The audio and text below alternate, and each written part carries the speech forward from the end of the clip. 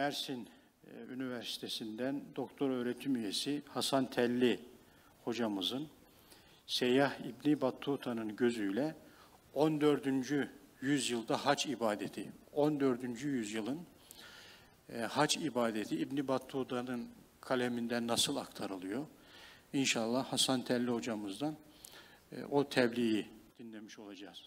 Hasan hocam buyurun. Sayın Başkanım, değerli hocalarım, kıymetli katılımcılar, zat halilerinizi sevgi, muhabbet, hürmet, hürmetle selamlıyorum. Ee, böyle güzel bir sempozyumda siz değerli bilim insanlarıyla bir arada olmakta mutluluk duyduğumu ifade etmek istiyorum. Bu programda emeğe geçen herkese yürekten teşekkür ediyorum. Ayrıca e, belirtmek isterim ki e, Trabzon İhtisas Eğitim Merkezi'nde öğrencisi olduğum Kadir Dinç hocamla beraber olmaktan da ayrıca mutlu olduğumu ifade etmek istiyorum. Estağfurullah. Ee, değerli hocalarım benim sempozyumdaki e, tebliğim Seyyah İbni Batuta'nın gözüyle 14. yüzyılda hac ibadeti olacak. Ee, 14. yüzyılda yaşayan Faslı Müslüman İbni Batuta, Orta Çağ'ın en büyük seyyahı olarak bilinir. Seyahatlerini Rihlet İbni Batuta adlı eserinde derc etmiştir. Eseri günümüze kadar ulaşmış ve pek çok dile tercüme edilmiştir. 1304 yılında Fas'ın Tanca şehrinde doğan İbni Batuta kendisini meşhur eden seyahatlerine 22 yaşındayken haç yolculuğu ile başlamıştır. Bu haç yolculuğu onun dünya yolculuğuna çıkmasına vesile olmuştur. Genç yaşında yolculuğa başlayan İbni Batuta Afrika, Endülüs, Orta Doğu, Anadolu, Kırım, Kafkasya, Orta, e, Orta Asya, Hindistan, Uzak Doğu ve Çin gibi dünyanın çeşitli coğrafyalarını gezmiş bir seyyahtır. Ülkesine 49 yaşındayken 1353 yılında dönmüş ve 1368 yılında vefat etmiştir. Beş defa hac ibadetini yapan İbn Battuta bu vesileyle 14. yüzyıldaki hac ibadeti Mekke ve Medine şehirleri hakkında çok önemli detaylar ve bilgiler sunmuştur. Seyyah İbni Batuta'nın gözüyle 14. yüzyılda hac ibadeti nasıldı diye soracak olursak bunu 8-10 maddede ben e, kısaca ifade etmek istiyorum. 1. Medine'den Mekke'ye gidiş ve Zulhuleyfe'de ihrama girişi. İbn Batuta 1326 yılında ilk haccını gerçekleştirmek amacıyla Medine'den hareket edip Mekke'ye doğru yola çıkar. Zulhuleyfe'de ihrama girip haccı ifrada niyet eder. Telbiye'ye başlar. Safra'ya ardından Bedir'e varır. Bedir'de şehit düşen sahabe kabirlerini ziyaret eder. Bedir Savaşı'nda meleklerin indiği Cebelül Rahme'den, Hazreti Peygamber'in Bedir Savaşı'nda kullandığı çardağın yerinden ve onun devesinin çöktüğü yere yapılan Mebreku Nakati Rasulü Mescid'den bahseder. İbn Battuta Bedir'den sonra Bakül Bezva adlı çöle girer. Bitiminde Rabi, Huleys, e, Birketül Huleys, Usfan ve Merri Zahran güzergahıyla Mekke'ye ulaşır. İbn Battuta'nın takip ettiği bu güzergah Hz. Peygamber'in veda haccı sırasında izlediği güzergah ile hemen hemen aynı olduğu görülür. Bu durum 14. yüzyılda Medine'den Mekke'ye giden hacıların Hz. Peygamber'in takip ettiği güzergahı kullanmayı ve bu güzergahtaki Hz. Peygamberlerin Hz. Peygamber'in hatıralarını yad edip ziyaret etmeyi önemsediklerini göstermektedir. İbn Battuta uğradığı güzergahlarda Hz. Peygamber'in hatıralarına yer vermiştir. En fazla da Bedir'deki anılarına değinmiştir. 2. Kudüm tavafı. İbn Battuta bir sabah vakti Mekke'ye varır. Sünnete uygun olarak Beni Şeybe kapısından buraya girer. Kabe'yi seyreder, ardından kudüm tavafını yapar. Mübarek Hacer-ül Esved'i istilam eder. Makamı İbrahim'de iki rekat namaz kılar. Mültezemle Kabe'ye sarılır. Dua eder, zemzem suyundan içer. Sonra Safa ile Merve arasında sağ yapar. Kabe'ye ulaştırdığı, onu ve Hacer-ül Esved'i görmeyi nasip ettiği ve Hz. İbrahim'in davetine icabet etmeyi bahşettiği için Cenab-ı Hakk'a şükreder ve hamd eder. İbn-i Battuta haccı ifrat yaptığı için ihramdan çıkmaz. Zaten ihramdan çıktığına dair de eserinde bir şey söylemez. Kudüm tavafının ardından haccın sayını yapar. Saydan sonra konakladığı yere geçer ve o Kabe'nin e, Bab-ı İbrahim denilen İbrahim kapısına yakın bir yerde konaklar. tüm ibadetlerinde ve bu ibadetlerin sıralamalarında Hazreti Peygamber'in sünnetine uymaya gayret gösterdiği görülür.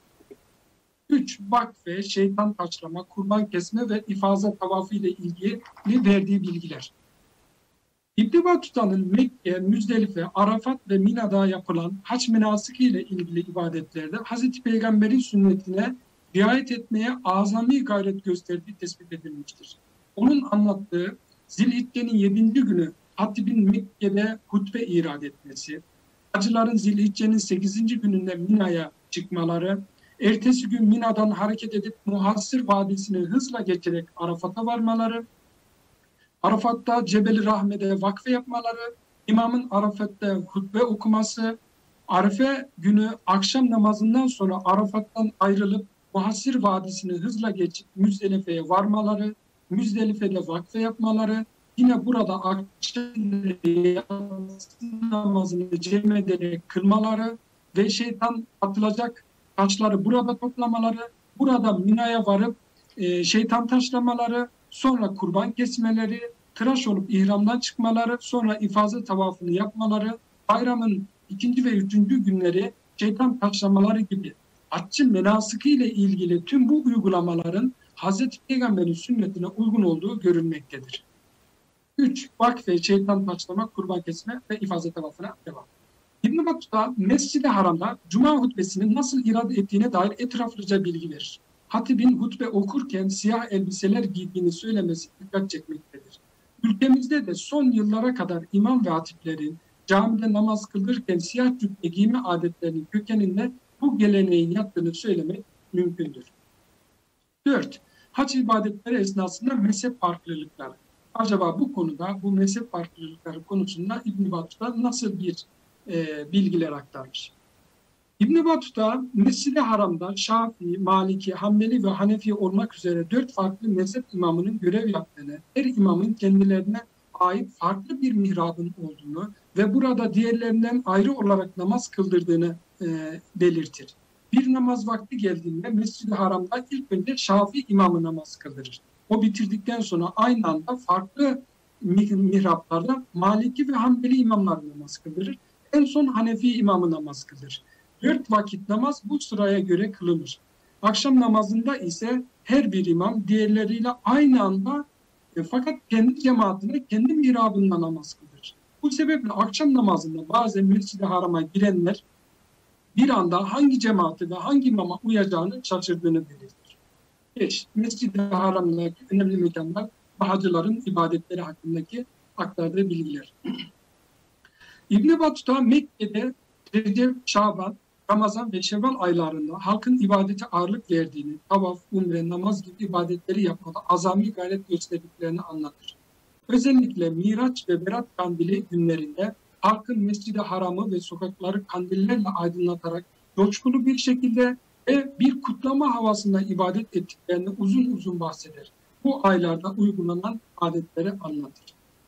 İbn Battuta Zilkade'nin Zilkade ayının 27. gecesinde Kabe'nin örtüsünün tavaf edenler tarafından yırtılmaması ve kirletilmemesi için bir buçuk adım kadar uygulamaya ihramın Kabe dendiğini bugünlerde Kabe'nin çok kalabalık olduğunu ve Arafat vakfesine kadar bu yolun devam ettiğini belirtir. İbn Battuta Mekke'deki ibadet mekanları, ziyaret yerleri hakkında birçok bilgi paylaşır. O Mescid-i Haram, Kabe, Altınoluk, Darun Nedve, Hacer-i Nesret, Makam İbrahim, Hicr, Metaf, Zemzem, Kabe'nin kapıları, Safa, Merve, Cennetül Mala, Mescid-i Haram ve Mekke etrafındaki ziyaret ziyaretgahlar ve Mekke'nin dağları ile ilgili önemli bilgiler ve detaylar aktarır. İbn Battuta Mekke'de her türlü sebze ve meyvenin bulunduğunu, ticaretin canlı olduğunu belirtir. Bu da Mekke'ye gelen hacıların gıda ve erzak temin etme konusunda sorunlar yaşamadığına işaret etmektedir. O Safa ile Merve arasında Hazreti Abbas'ın evi, Hazreti Hatice'nin evi, Hazreti Fatıma'nın doğduğu oda, Hazreti Ebu Bekir'in evi. Bu evin karşısında duvarın içine gömülü olan Hazreti Peygamber'e selam verdiği için hacılar tarafından da devamlı selam verilen mübarek hakkında bilgiler aktarır. Altı Mekke'deki bazı ziyaret yerleri. Bir başka Mekke'de hacılar tarafından ziyaret edilen önemli mekanlar ve bu mekanlarda hacıların yaptığı bazı adet ve uygulamalar hakkında bilgiler de aktarır. Hazreti Hatice'nin e, kabrinin olduğu Cennetül Mualla mezarlığında bu, müza, bu mezarlığın arkasındaki Hazreti Peygamber'in konakladığı Beni Kinane Tümseyinden, bazı sahabenin metfun olduğu Zituva Vadisi'ndeki mezarlıktan, Hazreti Peygamber'in veda haccı sırasında uğradığı Keda Tepesi ve Beyda Tepesi'nden, Beyda Tepesi'ne giden yol üzerinde hacıların devamlı taş attığı ve bir taş kümesi oluşturan Ebu Leheb'in ve karısı Ümmü Cemil'in kabrinden, Hazreti Peygamber'in Mina'da inerken üzerine oturduğu ve bu vesileyle Mina'dan inen hacıların da oturup ziyaret ettiği Beyda Tepesi ile Mekke arasındaki vadide bulunan nakışlı bir taştan, Hazreti Ayşe'nin ihrama girdiği yere yapılan Enim Mescidinden, Hazreti Peygamber'e vahyin geldiği Hira mağarasından ve hicret ederken saklandığı Sevir mağarasından detaylı bir şekilde bahseder. Medine'deki bazı ziyaret yerleri. İbn Battuta tabi Medine'ye de uğruyor. Medine şehrinde Mescid-i Nebevi'nin selam kapısından içeri selatü selamlarla girerek Ravza-i Mutahara'da Hazreti Peygamber sallallahu aleyhi ve sellemin minberi ile kabri arasında namaz kılar. Hazreti Peygamber'in kabrine azim ve hürmetle selam verip ziyaret eder. Burada Allah'a dua eder. Ardından Hazreti Bekir ve Hazreti Ömer'in kabirlerini selamlayıp dua eder. İbn Battuta Mescid-i Nebevi'nin mimarisi, yapılışı, tarihi, genişletilme safhaları, minberi, imamı, hatibi, hizmetkarları, Medine'deki ziyaret yerleri ve peygamber ağaçı bazı insanlar hakkında önemli bilgiler aktarır.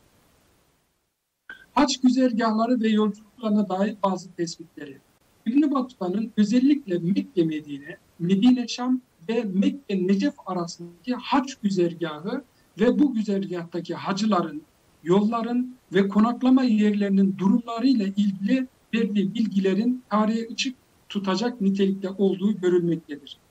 E, sunumumuzda görüldüğü üzere de Mekke ile Necef arasında e, İbn Battuta'nın uğradığı güzergahlar e, sarı işaretle gösterilmiştir. Yine İbn Battuta'nın e, Şam'la Medine arasındaki haç güzergahını e, çıkardık. E, burada da Hadiye, El Ula, Medaini Salih, El Muazzam, Tebuk, Maan, El Kerak, Busra, El Sanemin, El Kisve, oradan Şam. Bu güzergahı hacıların 14. E, asırda kullandığını e, görmekteyiz.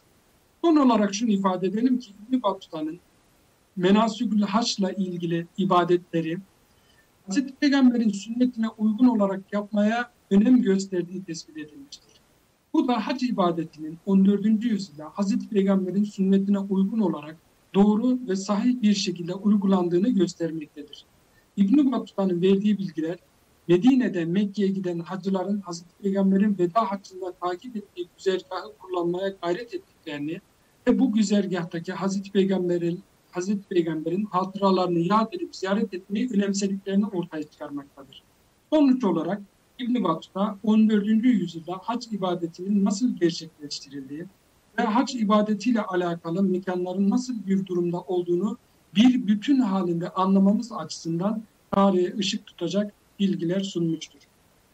Beni dinle, dinleme zahmetinde bulunduğunuz için hepinize çok teşekkür ediyorum. Sunumum burada bitiyor. Buyurun hocam. Çok teşekkür ediyorum Hasan Hocam.